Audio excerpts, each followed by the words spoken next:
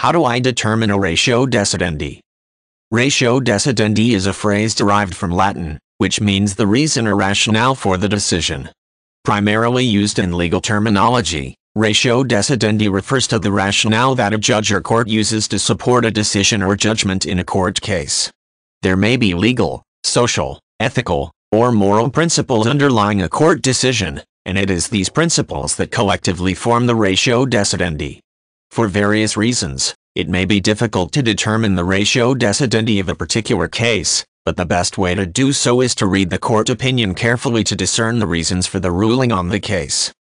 Some helpful techniques for determining ratio decidendi include isolating the facts that are material, relevant to the court ruling, and identifying legal precedent that the court relied on in reaching its decision. Under common law principles, the applicable laws, as applied to the facts of a specific case, directly determine the correct outcome or holding of a case.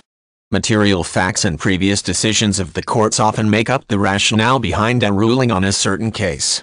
Like these previous decisions, the legal grounds for the court judgment generally are binding on courts when they make decisions in the future. Identifying the holding of a case is important because it forms the basis for other court rulings. Being able to recognize the stated rationale of a court that supports a judgment is an essential legal skill taught almost universally to law students who are training to become lawyers. In the practice of law, lawyers can use the ratio decidendi of a case ruling to make arguments in similar cases in the future.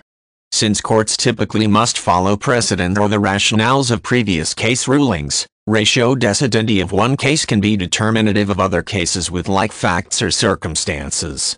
Therefore, despite difficulties in doing so, discovering the holding of a court case is necessary. Further complicating the analysis of a case ruling for its ratio decidendi is that the majority of court opinions contain extraneous information that may cloud the true rationale of the case. The court ruling may include facts that are not always pertinent to the main issues in the case and statements on the law that are not directly relevant to the main point of the ruling. This additional information can distract the reader from the main point of the court ruling and may confuse the point of law that the court is trying to make. Legal scholars call these additional fact obiter dicta.